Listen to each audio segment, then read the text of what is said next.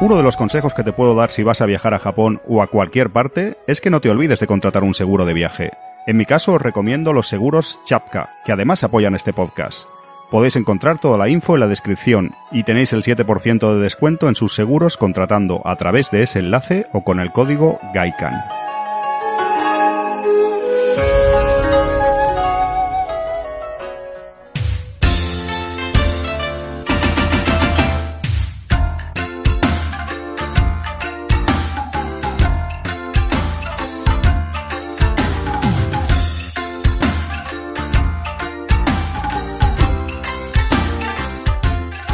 Muy buenas amigos, bienvenidos a Gaikan Limited Japan Podcast, bienvenidos de nuevo a este episodio de este programa dedicado a Japón, a mis viajes a Japón.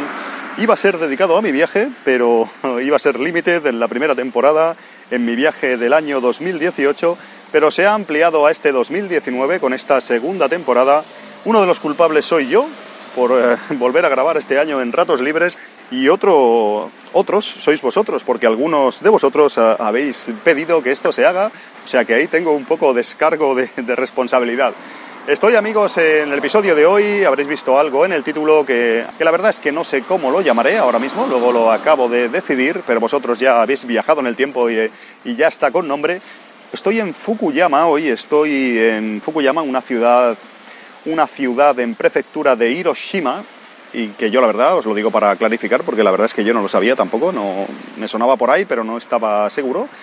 Y ya os digo, es una ciudad no muy conocida, que no visitan, he grabado algún otro programa por aquí, algún otro episodio, que no visitan demasiado los turistas, eh, porque hay otras eh, cercanas con mucho más vocación y reclamos eh, para el turista occidental y demás, incluso para los japoneses, yo diría.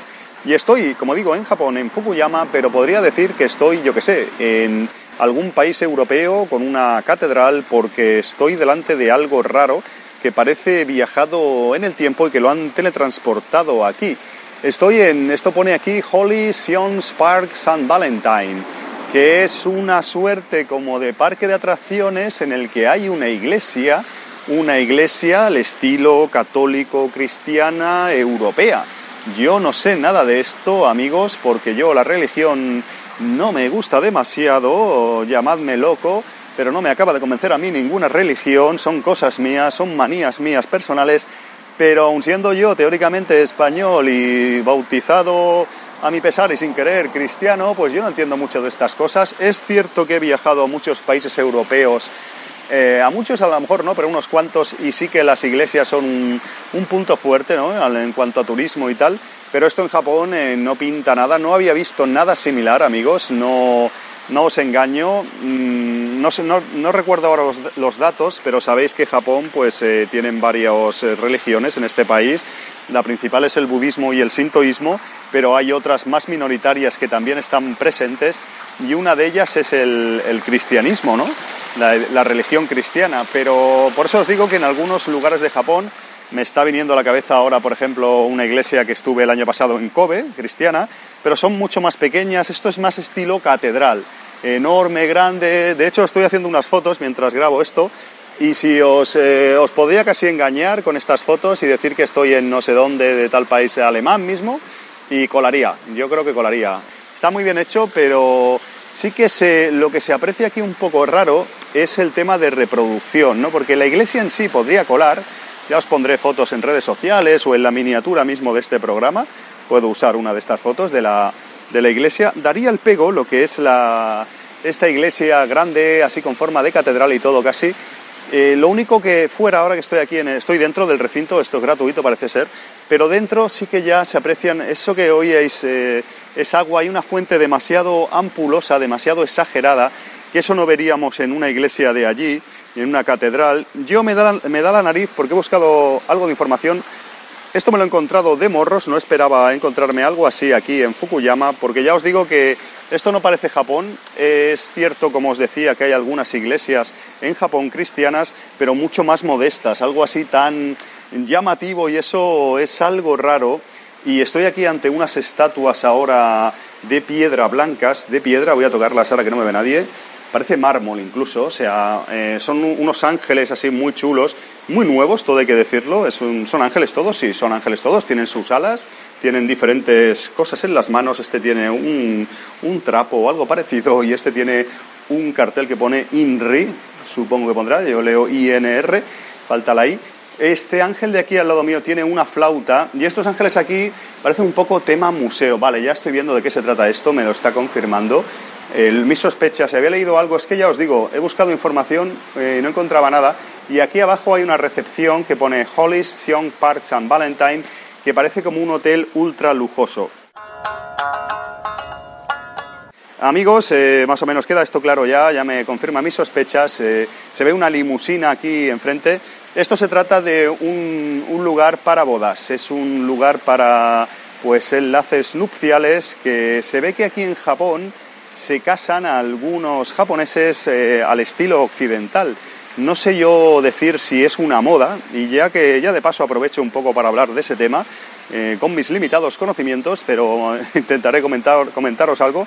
Y parece ser que esto debe ser pues un, como una reproducción de una iglesia católica a muy a lo grande, porque ya os digo que es espectacular, la de metros que mide y todo el recinto cómo está decorado. Y parece que abajo parece ser un hotel, no me quiero acercar mucho ahí porque creo que me van a echar inmediatamente. Y debe ser pues un lugar donde celebran eso, bodas y bastante, en este caso, pues eh, bodas de postín. Voy a intentar subir ahí arriba a la iglesia a ver si me dejarán pasar. Lo que pasa es que hoy en Fukuyama es sábado. Atención, estoy viendo, amigos, un eh, autobús eh, muy, muy estilo europeo, muy ampuloso. Parece que si me dicen que sale de Walt Disney, del Walt Disney o de un parque temático, me lo creo. Supongo que ese autobús va a recoger invitados o algo así porque se acaba de ir del recinto, amigos. Luego estoy aquí a la derecha, dentro de todo este recinto veo un restaurante que pone Club Viage. No sé si intenta ser como algo, evidentemente con decoración europea y tal, algo francés o algo así. De hecho veo bandera italiana, sí, veo bandera italiana ahí al fondo y también veo un vigilante que me está mirando un poco mal. Voy a ver si puedo subir arriba, aunque creo que ya me van a decir que, abandone el lugar. Yo creo que van a celebrar aquí un, enlace en breve y, tiene toda la pinta que están esperando. Igual si fuera entre semana o estaría cerrado, tiene toda la pinta que van a celebrar un, enlace. Ah, no, este hombre no, no venía a echarme a mí, viene a acompañar a dos personas que estaban ahí, que estaban han salido del restaurante, creo, una mujer muy mayor y un hombre con un bolso. Y yo sigo aquí un poco admirando y comentándoos un poco esto, ¿no? Que me sorprende bastante encontrar algo así. Y ya de paso aprovecho para hablaros eh, un poco de eso, de se ve que hasta cierto punto es moda en Japón casarse al estilo occidental. Tengo un amigo que vive en Fukuoka que ha trabajado de bastantes cosas y, y una de ellas él es actor pero lleva unos años aquí en Japón, está casado con una, con una su mujer es japonesa y tal, muy buena gente. Eh, voy a decir el nombre porque tampoco pasa nada.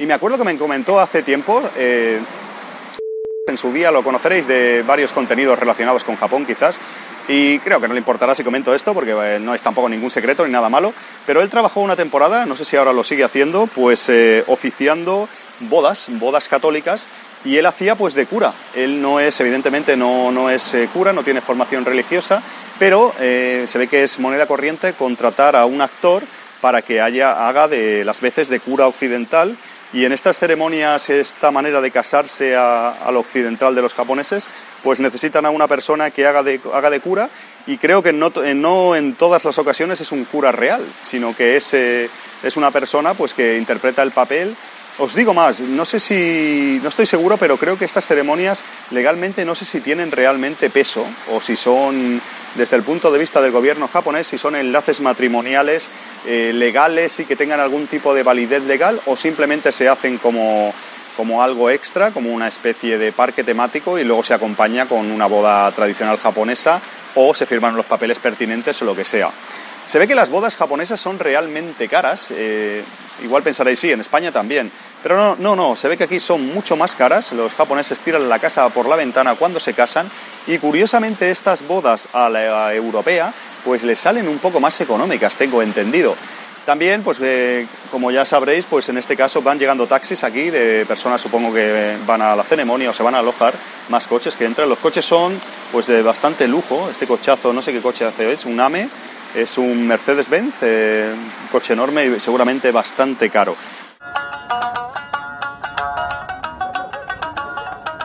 Es, curioso encontrar en Japón cosas así. Algo como esto aquí en Fukuyama no lo había visto nunca, he de reconocer. y ya os digo, es que parece una catedral pues totalmente, eh, da el pego como una catedral europea, así que han debido montar, construir esto, tratado creo de envejecerla un poco, que parezca más viejo, pero tiene pinta de ser nuevo y esto es un negocio para eso, para oficiar bodas y ceremonias que parece que hace las veces de restaurante, incluso de hotel.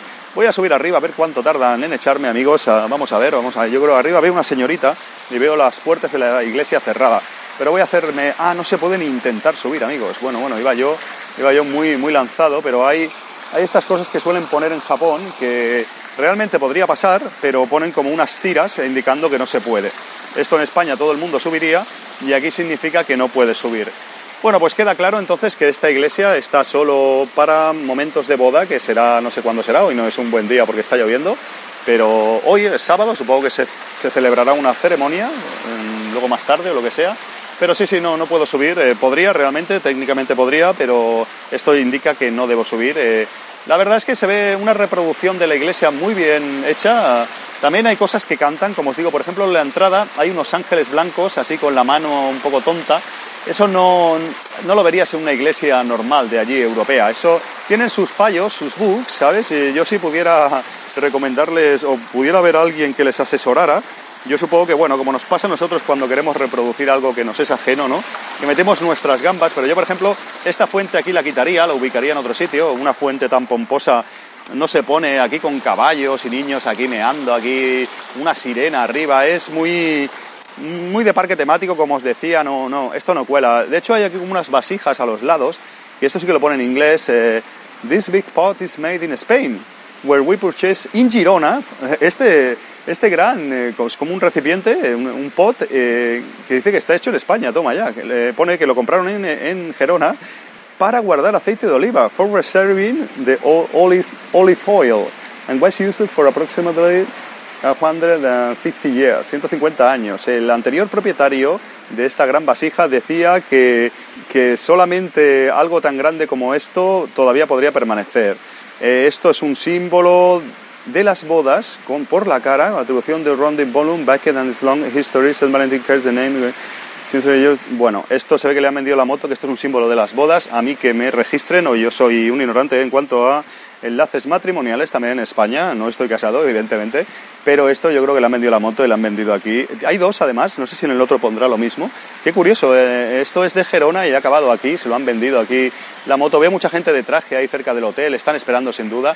Y en el restaurante fuera pone un mensaje en japonés. Evidentemente el restaurante estará reservado solo para para comensales o para gente que esté en la boda. Yo, por ejemplo, si quiero entrar, pues no podría hacerlo. Se ve realmente lujoso se ve realmente lujoso el restaurante. Voy por curiosidad porque hay dos vasijas gemelas, los grandes spots, los grandes spots estos que os decía.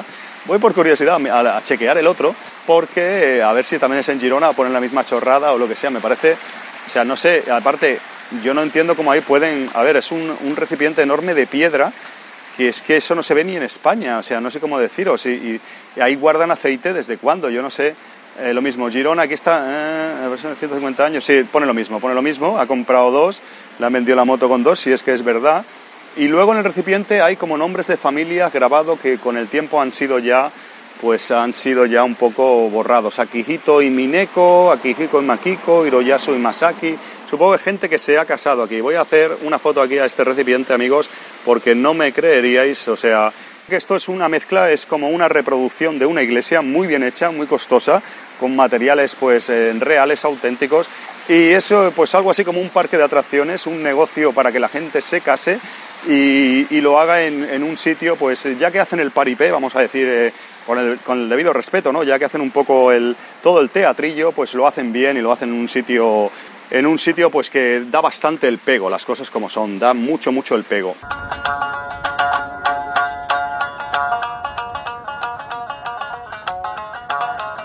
que se ve que las bodas japonesas, las bodas a la europea de los japoneses, mejor dicho, son relativamente comunes en los últimos años. Si tenéis algo más de información, agradecería que lo pusierais por aquí en comentarios y me echarais un cable. Pero ya os digo, os he contado la anécdota de que trabajó una temporada, creo que ahora no está haciendo esto, pero trabajó una temporada eso, pues eh, haciendo de cura, eh, le pagaban bien por diferentes partes del país y oficiando bodas. No sé si en algunos casos en particular sí que habrá curas de verdad, curas pues que puedan aquí hacer la ceremonia religiosa. Pero ya os digo, es que no sé si tiene validez, yo no entiendo de estas cosas, pero si los los que van a contraer matrimonio no han sido bautizados, ni siquiera se pueden casar técnicamente por la iglesia, ¿no? Que lo veo más como un teatro. Creo que en ocasiones es mm, para acompañar a la boda, a la otra boda tradicional japonesa, y, a lo mejor en ocasiones sí que la sustituye para ahorrar, para que, porque ya os digo que es muy, muy caro, la, se ve que es muy caro la boda normal japonesa estándar, y eh, aún así ya os digo que legalmente no sé si tiene validez. No sé si tiene validez. Igual se casan por aquí y luego tienen que firmar unos papeles para que técnicamente tenga validez y que conste para el gobierno japonés y para todas las instancias gubernamentales, vamos a decir, que están casados.